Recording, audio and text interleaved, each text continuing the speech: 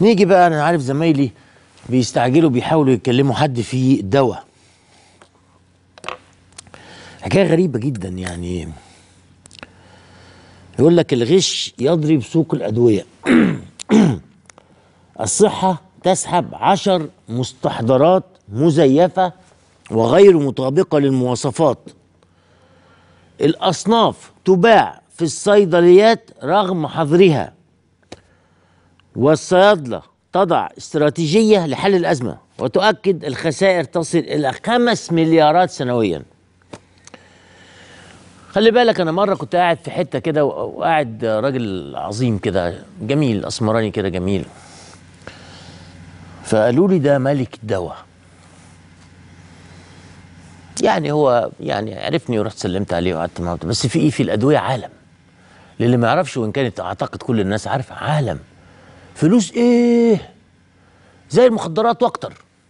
يعني عالم مهول لأن الأدوية في الغالب المادة الفعالة بتاعتها والحاجات مش غالية مش مش كلها غالية. آه فالمكاسب الدكتور حسام حريرة عضو مجلس نقابة الصيادلة. دكتور حسام مساء الخير يا فندم. مساء النور إزاي حضرتك؟ الحمد لله تمام ربنا يبارك في حضرتك. مش اللي أنا بقوله صح برضو ولا أنا غلطان في إن مكاسب الأدوية يعني هائلة؟ للمافيا بتاعتها بس.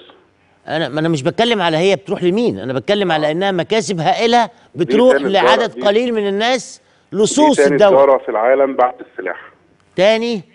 آه دي حجم التجارة تاني دولة في العالم بعد تجارة السلاح. تمام يبقى أنا اللي بقوله مظبوط. آه، كونها بقى. بتروح فين بقى؟ تذهب لغير مستحقيها. آه طبعا في مافيا وفي. عالم وفي بتاع.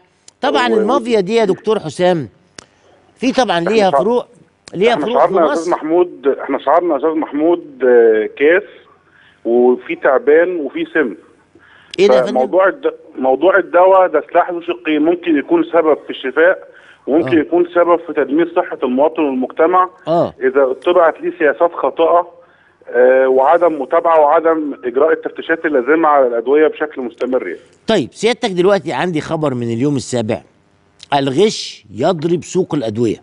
إيه الحكاية دي يا دكتور حسام؟ آه، في كذا مصادر للغش. في مصادر اللي هي في مصانع بير السلم. واحد بيجي على مكان كده غير مرخص وغير آه، واخد فيه الإجراءات اللازمة للتصنيع السليم وبيجي جايب فيه شوية مكن وبيجي معبي فيه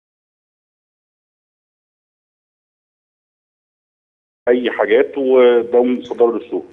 في حاجة تانية الأدوية المغشوشة اللي هي الأدوية اللي بتيجي من بره ومش واخدة تصريح الدخول في مصر بتيجي مهربة من الخارج. طيب دكتور السليم أنا مش حسام ضامن طريقة تخزينها ومجابس وفي الأدوية اللي موجودة في العيادات قلنا دي أدوية مغشوشة. طيب دكتور حسام اسمح لي بس أستأذنك في دقائق لرفع أذان العشاء. اسمح لي. حضراتكم مع الأذان. بحضراتكم مرة أخرى معانا دكتور حسام حريرة عضو مجلس نقابة الصيادلة بنتكلم عن غش الأدوية. خلي بالكم في فلوماكس 500 أو فلوموكس. أنا مش ضليع أوي في الأدوية الحقيقة. أو سولفين؟ أو سولوفين اللي هو دواء الكحة فيه مشكلة. دكتور حسام. يا فندم أهلا أيوة. بيك يا دكتور.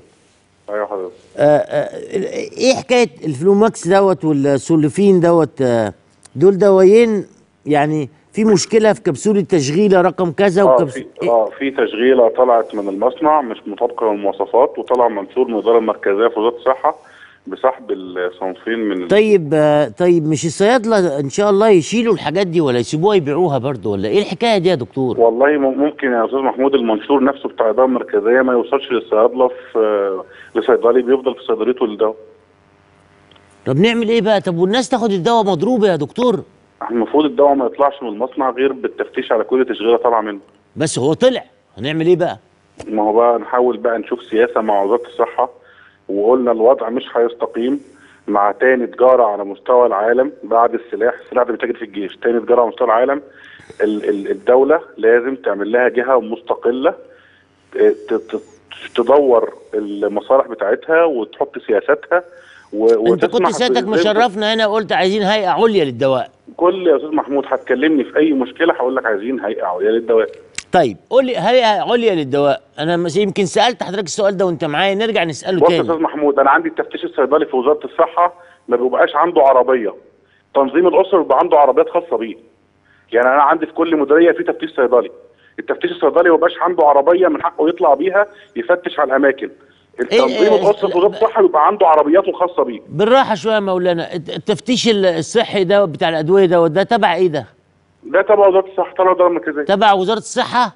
آه. المفروض مهمته إنه يروح يفتش في الاجزخانات زخانات ومصانع وأي أماكن فيها دواء موجوده ما عندوش عربية. ما عندوش عربيات خاصة بيه. أمال هيلف على الاجزخانات إزاي؟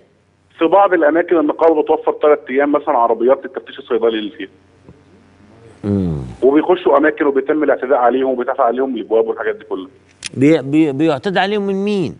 من بعض الأماكن غير مرخصة وأماكن صيدليات اللي غير صيدله امتلاكها غير صيدله هم أصلهم بيفتحوا الصيدلية ممكن مش, لصيدلي.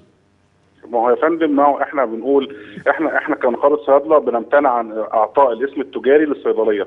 طب أنا هسألك سؤال فني يا دكتور حسام معلش اسمح لي. اتفضل. هو. أنا دلوقتي ممكن أفتح صيدلية؟ لا. لازم دكتور. لازم دكتور. طب بس كويس بالتحايل ينفع. التحايل اللي هو إيه بقى؟ انك انت هتجيب دكتور وهترخص باسم الصيدلية وهتتحايل تبقى الصيدليه ملكك وانت بقى اللي تتاجر فيها يعني هكتب هكتب الصيدليه باسمه؟ آه. لا ما يبقاش ده بيبقى برضه هو يعني ما ما هو يا أستاذ محمود أنا آخر تشريعات طالعة عليا في أواخر الستينات. إيه؟ آخر تشريعات طالعة لمزاولة المهنة أواخر الستينات. مش مشكلة اواخر 2014 الستينات ولا اواخر الأربعينات المهم إن هي فيها المضمون والمطلوب ولا لا ما فيهاش المضمون يا أستاذ محمود. إحنا كان عندنا خمس ست أدوية زمان وعندنا شوية أدوية بنركبها في المعمل وخلاص. طيب. دلوقتي عندي 10000 صنف متداول في السوق. طيب دكتور حسام من فضلك يعني عشان نبقى محددين يعني ضع لي في نقاط متسلسلة كده واحد اتنين تلاتة أربعة. لإنقاذ هذا الوضع المتردي وإن في أدوية في السوق مغشوشة. ماذا نفعل لإنقاذ الوضع ده؟ آه، أستاذ محمود آه، تجارة الأدوية من التجارات الحساسة جدا وبنعتبرها أمن قومي لمصر. طبعاً. من رقم واحد. لرقم 10 هيئة عليا للدواء. يديرها صيدلي تابعة لرئاسة الوزراء. لن طيب يستقيم كويس. حال الدواء في مصر طول ما هي تابعة لوزارة الصحة. كويس يا دكتور حسام إحنا ما اختلفناش على طلبك في هيئة عليا للدواء. أنا ب- بناشد معاك المسؤولين أن يفكروا في هذا الأمر ويدرسوه. أنا بكلمك على وضع راهن دلوقتي. الدواء فيه سم قاتل. دلوقتي في؟ بنت أو في ولد. أو أيوة في راجل رايح داخل الاجزخانه حاليا دلوقتي بيشتري آه. فلوماكس دوت ولا السلفين دوت ولا حاجات كتيرة قدامي. آه. يعني انترلوب وانترلوك وانت حاجات زي كده. المفروض أي بس هم دلوقتي رايحين يشتروا الدواء. إزاي ننقذ الم- الموقف ده؟ آه، ننقذ الموقف إن إحنا هو الموضوع بتاع الفلوموكس وال إحنا بنحاول كنقابه بنوزع المنشور على كل الصيدلات اللي إحنا نقدر نوصل لها. يعني إن شاء الله يعني 90% من الصيدلات هنكون وصلنا لها بإذن الله يعني. والشركات طيب. هتكون قامت بالجزء اللي فاضل فيها إن هي تسحب الدواء بتاعها. طب والسولفين دوت؟ والسولفين كذلك فلوموكس والسولفين. طب ده في قدامي لائحة كبيرة. تم ضبط تحذير عدم الصلاحية الطبية وتشغيلات. محمود ده, ده اللي تم اكتشافه بالصدفة. يسمى إيه؟ في ده بالصدفة اكتشف السولفين والفلوموكس في حاجات تانية ممكن ما تكونش اكتشفت يا نهار أبيض. انت هتخوف الناس أكتر. مش هخوف يا أستاذ محمود مش إحنا لازم نكون عارفين المشكلة عشان نعرف نحلها ولا إحنا لازم نخبي المواضيع على طول؟ لا لازم نتكلم بصراحة. إحنا عندنا مشكلة. مصر عندها مشكلة مثلا اقتصاد مصر عندها مشكلة كذا. أنا عندي في الدواء أنا عارف مشكلتي. أنا ما عنديش رقابة على الأدوية في مصر بشكل سليم ومحترم. وزارة طيب، الصحة طب- أنا بعتبرها وزارة أطباء مش طيب. عارفة. طيب يا دكتور حسام اسمح لي أسألك سؤال. يعني. سؤال يعني يمكن يكون يضايقك شوية بس هو يعني سؤال هل في في عالم الصيادله عندنا في مصر فساد كبير ولا محدود ولا بسيط؟ حجم فساد غير غير متوقع وغير متخيل. يعني إيه؟ ما تقول لي بقى رقم من الثلاثه اللي أنا قلتهم دول. لا يعني- 95% فساد. كم؟ 95% فساد. 55 95% فساد. يا نهار أسود! آه. في عالم الصيادلة؟ في عالم الدواء. ما هو الس- اللي بيبيعوه. الصيادله ما هو لا لو الهوا الدواء الدواء أنا بشتريه من لا، السوبر لا، ماركت. أنا أنا هقول لك الصيادلة الصيادلة لو لو كمان هم مش ماسكين المواضيع في صيدلياتهم جامد وهم اللي بيبلغوا على الفلوموكس وعلى السولفين وعلى الحاجات اللي بيكتشفوها ما كانش الوح... الحال وصل لكده. إحنا بنحاول نحمي حياة المريض المصري بكل الطرق اللي في إيدينا. بس المنظومة بايظه وفي مافيا فيها إحنا مش هنقدر نسيطر على كل حاجة. أنا بسأل سيادتك سؤال للمرة الثانية الصيدلي الذي يبيع لي الدواء آه. الفساد في ها في في هؤلاء نسبته قد إيه يا دكتور حسام؟ لا يزيد 5% يا أستاذ محمود. لا يزيد؟ عن 5% أمال أنت قلت 95% ما لا أنا بتكلم على منظومة يا أستاذ محمود منظومة أنا بشغل بيها البلد. أنا بقول. لسيادتك دلوقتي أنا الدواء أنا بشتريه من الاجزخنجي لا الصيدليات يا أستاذ محمود مش مش مش داخلة في المنظومة دي أيوه. ممكن تبقى هي معلش طيب. ممكن تبقى هي مش في منظومة الفساد. آه. لكن ممكن يكون بيجي لها الدواء فاسد. بنسبة قد إيه؟ وهي ما تعرفش. خلاص. حجم الأدوية المكشوفه في مصر كان في تقرير معمول من فترة إن هو بيوصل ل 30% 30% آه. شامل كذا مصدر إيه؟ مش في الصيدلية بس يا أستاذ محمود. في مصدر اللي هو قلنا في العيادات. في ودي- ودي بال- ودي بالقطع يا دكتور. الصلاحية. طيب. دي بالقطع مسؤوليه مسؤولية وزارة الصحة. نعم. يعني ال 30% دواء مغشوش دي بالقطع مسؤولية وزارة الصحة. هو مسؤوليتنا كلنا يا أستاذ محمود. أنا أنا أنا ما بنفعش إن المسؤوليه على واحد بس. هي وزارة الصحة عندها عبء اسمه الدواء عليها. والناس ما عند عندها وزارة الصحة بتدور على التمريض وبتدور على الطبيب وبتدور على الدواء. وبتدور على الإداريين اللي في المستشفيات وبتدور على العمال. أنا بقول لك أنا عايز أطلع قطاع الدواء لوحده يكون في ناس مسؤولة عليه لأنه بقى بقاش حجمه صغير حاليا.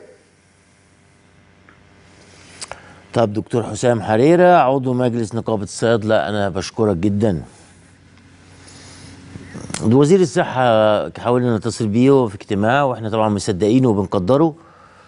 آه، وحاولنا نكون الدكتورة هدى عبد الخالي رئيس الإدارة المركزية للصيادلة. ما بتردش علينا معلش جايز ترد بعد شوية ممكن تكون برضو في اجتماع إن كل الناس بتشتغل وربنا يكون معاهم إحنا النهارده الجمعة لكن مش كل الناس بتاخد أجازة يوم الجمعة وأنا يعني معلوماتي عن الدكتور عادل العدوي أنا لم ألتقي بيه ابدا إنما معلوماتي إنه بيشتغل بيجتهد بيبذل جهد كبير في محاولة إصلاح. يعني هقول لكم زي ما قال الرئيس الأسبق محمد حسني مبارك لما قالوا له أنت هتدي البلاد لابنك قال له هديهم خرابه ده ده كلام حسني مبارك اللي سمعناه. قالوا قال لابنه إنه هديله إيه؟ ف عندنا مشكلة جامدة. هو الكلام اللي قاله الدكتور حسام بس- بسيط إنه أنت وطبعا الدكتور حسام عضو مجلس نقابة الصيادلة. يعني رأيه يعني مجروح يعني شهادته مجروحة. ما ينفعش إن إحنا نسأله السؤال اللي أنا سألته ده. أنا غلطان في السؤال لأنه ما يعني هو طبعا أكيد هو جاوب بصدق يعني مش بشكك في إجابته لكن السؤال شهادته مجروحة شوية لأنه صيدلي وأنا مش بتهم الصيادله لأن أنا عارف إن الحكاية أعلى من الصيادله الصيدلي بيجي له دواء مع عليه تاريخ الصلاحية تمام بيبيعه ملوش دعوة. إنما في ما في أدوية هو هو هو, هو عالم عالم كبير جدا. زي ما قال لك الدكتور حسام بقى دي المعلومة الدقيقة اللي أدق من المعلومة اللي أنا قلتها إن هي التجارة الثانية بعد تجارة السلاح. مش المخدرات هي الأدوية. في حاجات كده بس يعني لازم شوية همة. يلا بينا ناخد فاصل. بعد الفاصل تقارير اليوم. بحيرة قارون يقتلها التلوث. منطقة المزاريطة بالبساتين. الاسم مستوحى من مسلسل كوميدي. والواقع رعب وفقر يملأ قلوب الأهالي. تل أتريب ببنها المدينة المنسية من ذاكرة التاريخ.